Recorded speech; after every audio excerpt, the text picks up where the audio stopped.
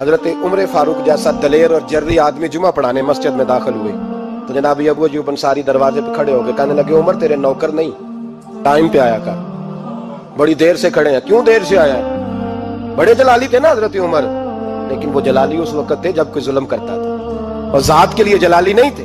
कब वक्त पे आया कर? को मुलाजम नहीं तेरे। तो सैदना फारूक आदम मिंबर पे चढ़े और फरमाने लगे, अल्लाह अबू अयूब अंसारी का भला करे।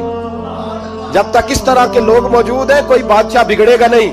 अल्लाह इसका भला करे, इसने मेरी तवज्जो सही, और फिर उमर रो पड़े। रो के फरमाने लगे, मुसलमानों, माफ़ कर दो। गलती कोई नहीं, मेरे पास कुर्ता एक ही है। और अब्दुल्ला की माँ ने वो धो के खुश्क होने को डाल दिया था।